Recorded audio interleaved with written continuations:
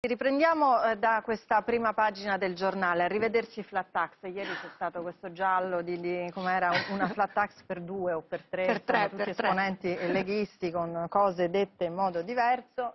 In realtà sarà graduale, la vogliamo spiegare eh, su, questo, su, questo, l'abbiamo detto dall'inizio che è graduale. Prima l'impresa, ma soprattutto prima serve la faccia fiscale per uh, iniziare intanto... Quindi prima il condono. Assolutamente, ah, sulle ecco. cartelle eh, ovviamente quelle che oggi l'erario non riesce sostanzialmente a riscuotere. È importante perché quando si decide di cambiare il sistema di tassazione bisogna prima eh, sanare tutto il pregresso perché altrimenti chiaramente non potrebbe esserci una base su cui costruire un rapporto di fiducia con i cittadini. L'altro elemento... Posso solo interrompere assolutamente perché sì. la conosco come persona seria e anche qui mm. a me piacciono i numeri.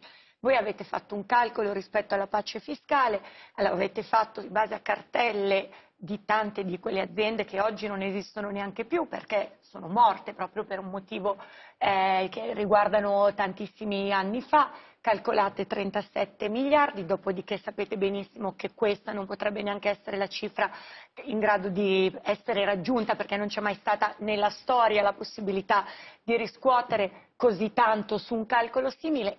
La pace fiscale quanto può portare alle casse dello Stato per garantire poi le coperture successive per la flat Ma tax. Noi, siccome siamo prudenti, certo, per quello che mi sono. Quando noi parliamo no? di applicazione di flat tax e di quella che dovrebbe essere, come posso dire, eh, il raggiungimento poi effettivamente dell'aliquota unica, quindi un momento in cui c'è una trasformazione del sistema evitando il blocco dei flussi eh, per lo Stato, perché il problema non è solo l'ammontare, è il fatto che oggi lo Stato prende eh, dalle imposte con le anticipazioni un flusso che è costante che gli permette la spesa corrente. Quindi per far questo noi prima di tutto dobbiamo verificare quanto possiamo portare a casa, quindi noi abbiamo fatto una previsione, ma non sappiamo e quindi quando si, mi si chiede oggi entrerà la flat tax nel 2018-2019 se solo le, famiglie, se solo mm. le imprese, se solo le famiglie. Prima bisogna vedere quanto si incassa eh, diciamo dalla, dalla, pace fiscale e quella che è secondo noi eh, l'incentivo che viene dato e la motivazione anche da parte delle imprese, perché non solo ci sono tante imprese che hanno chiuso, ma ci sono tante imprese che rischiano di chiudere quest'anno per questo problema eh, eh, sulle cartelle eh, esattoriali. Oltretutto eh, a noi conviene fare questo tipo di operazione perché vuol dire in quest'anno probabilmente agevolare le aziende che stanno cercando di mettersi in regola, soprattutto in alcuni settori. Io da assessore allo sviluppo economico negli ultimi anni eh, in, solo in Regione Liguria la maggioranza di aziende che hanno chiuso hanno chiuso per mancanza di liquidità interna all'azienda. Ma come si fa a distinguere? Io questo mi viene sempre un, una preoccupazione di fronte a un condono. Come fai a distinguere tra quelli che non ce l'hanno fatta pagare e quelli che hanno fatto i furbi? Eh. Cioè non è possibile allora, che questa misura rischi anche di aiutare e di alimentare l'evasione perché uno dice perché io devo pagare? Io che sono sempre stato corretto, adesso vedo ma che questo, questo governo ci, ci salvaguardia quelli che non hanno pagato. Degli strumenti ci sono, ma eh, il, problema grosso, il problema grosso è questo, eh, è il fatto che fino ad oggi, ad esempio, su tutta una serie di norme eh, legislative, eh, non erano previste eh, inasprimenti di pena. Oggi noi con la flat tax proponiamo da una parte una diminuzione delle imposte, dall'altra parte un aumento fortemente delle misure coercitive nel caso non vengano pagate le, le tasse. È chiaro che noi non possiamo giudicare prima, a meno che non ci siano delle situazioni comprovate di evasione, ma questo è la Guardia di Finanza che lo fa e nessuno è un evasore gli può fare dei condoni. Quindi il momento in cui viene fatto il condono eh, vengono stralciate delle cartelle, ad esempio, faccio un esempio, tutto il settore dell'ambulantato, che ha avuto dei problemi grossissimi con la crisi che ci sono stati negli ultimi anni. Oggi eh, una buona parte del settore tiene aperto ma magari ha eh, dei eh, debiti eh, che gli impediscono anche di operare in maniera regolarmente laddove sono attivate delle procedure come ad esempio le carte di esercizio o altre, che, eh, perché l'ambulante prima di eh, pagare magari l'Inps eccetera al dipendente ha pensato di Però pagargli lo stipendio. In una legge di bilancio da su questo, su questo con dei controlli incrociati ci si può arrivare. Sì, Il problema è capire se allo Stato è più utile che un'azienda chiuda o è più utile che un'azienda si possa una risanare. Una battuta solo per questo, perché poi oggi io in aula eh, sentirò il discorso di Conte, ma in una legge di bilancio, qualsiasi legge di bilancio, a proposta ci deve essere la copertura. Mm. Allora, voi dite flat tax, ma prima della flat tax ci deve essere una pace fiscale, da cui però non sapete quanti soldi ricaverete, però quei soldi vi servono per coprire in parte la flat tax. Allora meglio quello che dice il vostro ministro Tria, che dice ma guardate, io per coprire la flat tax, che è una cosa che condivido, dico che deve scattare l'IVA, perché a quel punto io le coperture ce le ho certe. Cioè, attenzione, perché poi i numeri cantano e dicono la verità. Eh. Bisogna dire ai cittadini italiani in che modo voi, che avete in mente una proposta che per noi è iniqua, che l'abbiamo già fatta per le imprese, quindi ieri io quando ho sentito solo per le imprese, ma è stata fatta anche no, per gli affitti. Capito, però, perché la cedolare secca di fatto è una flat tax che aumenta. Dopodiché allora sì, voi dovreste fare però, la flat tax solo per le famiglie, allora no, da quest'anno io me la dovrei aspettare. Quello, quello che dico è che l'introduzione ad esempio della cedolare secca, facciamo la cosa più semplice, la cedolare secca sull'affitto mm. ha portato un aumento sia delle, eh, delle, persone che non tengono la casa chiusa ma che le investono, sia è la prima volta che lo Stato ha incamerato più soldi certo. rispetto al sistema precedente. Questo fa pensare che l'introduzione di misure analoghe nel settore delle imprese e poi nel settore delle famiglie, fatte in maniera graduale, proprio per il fatto che la trasformazione di un settore eh, Ma per le imprese flat tax a 15 o al 24 come c'è di già? Perché io non ho capito anche questo ieri dal discorso Bagnai, Siri e la il resto del quota, mondo. Cioè qual è la quota? Perché il 24 c'è già. Allora, quindi voglio dire, se c'è già, perché l'ha fatta il governo Renzi, significa che dovreste abbassarla. A quanto la fate? Quello che intendeva il vostro responsabile economico è al 14, è al 15, a quant'è? Perché a me, serve, a me serve capire, quando ci sarà la legge di bilancio, quali saranno le coperture sulla base della cifra che voi metterete, perché la flat tax costa 50 miliardi. E se, se facciamolo rispondere però. No, io, sono, io sono d'accordissimo. Il problema... Dal 24 scende al? Da noi vorremmo farla scendere al 15, in maniera graduale, graduale. in modo che, eh, torno a dire, ci sia e si, e, e si verifichi un aumento perché il primo anno non ci sarà, ma successivo delle entrate. Far entrare in maniera differenziata la, eh, le imprese e le famiglie, e le famiglie consente di evitare eventuali cadute di entrate nell'anno cioè, eh, in cui si, in cui si, in cui si entra. La nostra previsione entro il 2020 è quello di riuscire a portare sia le famiglie sia le imprese a avere, avere un'aliquota unica. unica. con le detrazioni per i figli e Quindi con... partirete da no, lì e il reddito di cittadinanza, perché i soldi poi devono no, tornare. Il reddito di cittadinanza è su, è su un altro settore che riguarda la parte... No, di legge di bilancio, che riguarda anche le misure, le misure, del lavoro sì, la, e le misure... Ma la cifra, la quota finale di ma noi riteniamo, ma noi riteniamo che alla fine lo Stato incassi di più. La, Anzi, io quello, quello, che voglio dire è che... Arrivo De Palma, sento la risposta diretta sicuramente, sicuramente il discorso di introdurre la flat tax in Italia è un cambio è epocale e quindi non è che il cambio epocale si decide in due ore. o in cinque ore, perché se fossimo al primo giorno di governo, al di là del fatto che dobbiamo ancora ottenere la fiducia da Camera del Senato, quindi ancora prima di avessimo Anche già... Anche lì è una questione di numeri avete. Avessimo eh, già, eh, no, avessimo già risolto il problema della flat tax in Italia, probabilmente, come posso dire, Mm, il giorno dopo ci chiamerebbero tutti negli Stati Uniti o da qualche parte a gestire le finanze americane.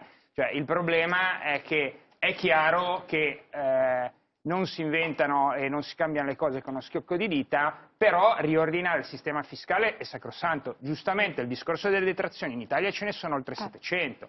Un cittadino oggi non è in grado di sapere certo. quanto pagherà eh, di imposte l'anno successivo, deve avere o il consulente o il commercialista o andare a un capo.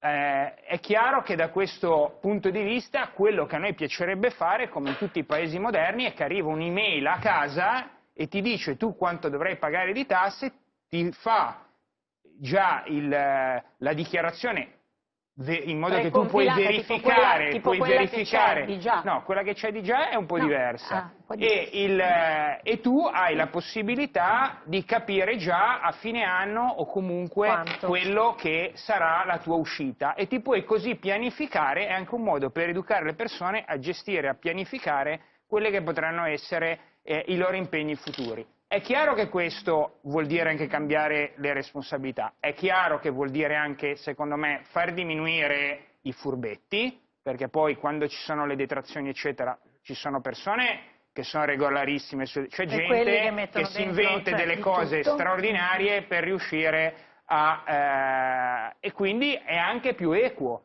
perché alla fine non è che quello che non ha il mega commercialista che lo segue e non, magari non riesce a sfruttare... Esatto, eh, allora deve pagare più tasse. E in questo, dal mio punto di vista, in un sistema come il nostro, dove c'è tantissima piccola e piccolissima impresa, che comunque molto spesso è anche, come posso dire, da quel punto di vista lì, la gestione eh, di tutta la parte fiscale, un onere aggiuntivo rispetto a quella che è l'attività, è un modo anche da quel punto di vista di essere più vicino a un certo Quindi partirete da quello fatto dal governo Renzi, sostanzialmente.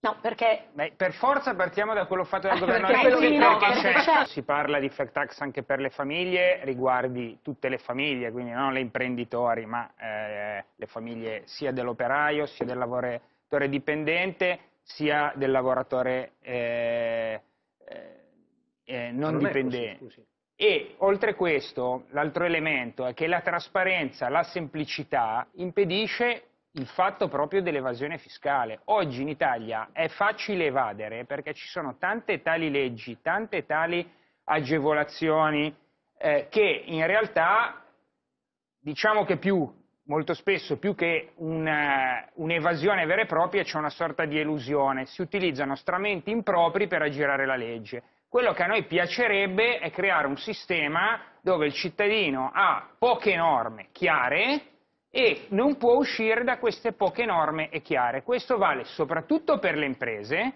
perché ovviamente eh, le imprese devono avere una tassazione in Italia, mi perdoni, eh, che sia almeno alla pari con quella di altri Stati europei, perché sennò il rischio vero è la delocalizzazione delle imprese da questo paese, cosa che poi si porta dietro una serie di posti di lavoro, l'abbiamo visto anche in passato. Quindi quando l'Europa si è aperta a est, noi non possiamo pensare che il nostro competitor sia solo la Germania e la Francia. Noi abbiamo aziende italiane che chiudono in Italia, aprono in altri paesi dell'est Europa come da altre parti. Oltretutto oggi con eh, la, eh, la, possibilità molto spesso di andare a operare sulle eh, nuove tecnologie consente di poter fare produzioni delocalizzate avendo la possibilità di gestirle dallo stesso territorio nazionale. A noi conviene far diventare competitive le imprese dal punto di vista fiscale in Italia, perché questo vuol dire anche Vabbè. fare poi una serie di norme per consentire di tenere le imprese sul nostro territorio e di consentire un aumento dell'occupazione anche dei lavoratori dipendenti, perché se non ci sono più imprese Guardi, non ci sono più lavoratori. Sì, io vorrei che fosse lei a dialogare con questo rappresentante sindacale? Sì, io credo che mh, mm, lì ci sia da, da mettere veramente, eh, prendere in mano tutta la questione, perché le scene che si vedono e, e purtroppo l'episodio che si è verificato, questo tragico, ma diciamoci la verità, nei vari anni ci sono stati moltissimi episodi più o meno tragici che hanno riguardato eh, questa situazione, è legata strettamente a un settore che fatica anche ad arrivare a una modernizzazione, perché in questo caso effettivamente è uno degli elementi in cui la manodopera, eh, soprattutto straniera, viene vista come eh, il modo di avere della manodopera sotto costo a quasi zero tipo di garanzie o protezioni di tipo sindacale, di tipo sociale. E qua è uno dei problemi, credo, grossi del Paese, eh, perché noi abbiamo in alcune aree una situazione dove effettivamente c'è stata anche una mancanza da parte dello Stato e eh, legato questo alla situazione sui fenomeni migratori rischia di creare grossissimi problemi. Ma lui ha chiesto una cosa specifica, ha detto la Bossi-Fini non Fini. aiuta noi sindacalisti a svolgere bene un lavoro che potrebbe consentire invece di tutelare il lavoro che i braccianti che ci sono perché la produzione terza a livello sì, allora, europeo bisognerebbe anche noi... verificare allora, la situazione sui braccianti. Intanto come posso dire chi va e vede io non ci sono andato direttamente, ma un po' di persone che conosco ci sono andate direttamente, sia le condizioni di vita che non è la Bossifini che fa vivere in quella maniera lì, ma, come posso dire, è la situazione che si è andata a creare in quell'area. L'altro elemento è che se noi nel 2018 pensiamo ancora di sì, eh, raccogliere i pomodori come si faceva nell'Ottocento o di raccogliere Aspetti, gli aranci solo perché si può utilizzare della manodopera sotto costo, credo che siamo al di fuori di qualsiasi idea di sviluppo agricolo eh, del mezzogiorno. È chiaro che c'è uno sfruttamento, ma c'è uno sfruttamento nella misura in cui è stata consentita un'immigrazione molto forte dai paesi del Nord Africa, molto spesso buona parte di queste persone non si rivolgono alle istituzioni perché spesso non sono neanche in regola, eh, e quindi vengono, vengono assolutamente ricattati. Sono, sono assolutamente ricattati. hanno la pelle no, bianca e sono no, dei datori di lavoro. Ho capito, ma il, il problema non è di pelle. I, delinqu I delinquenti ci sono eh, sì, bianchi, sì. rossi, verdi, Però gialli. Di queste situazioni noi ciclicamente accendiamo il faro e poi nessuno controlla. Il problema è che quando si dice che L'immigrazione incontrollata e non gestita crea problemi legati anche allo sfruttamento della manodopera dell'immigrato e all'eliminazione dei suoi diritti, questo ne è un esempio. Questo ne è un esempio di quello che si è generato nel Paese dopo anni in cui si è lasciato un settore nella totale, Prego, sostanzialmente, disorganizzazione.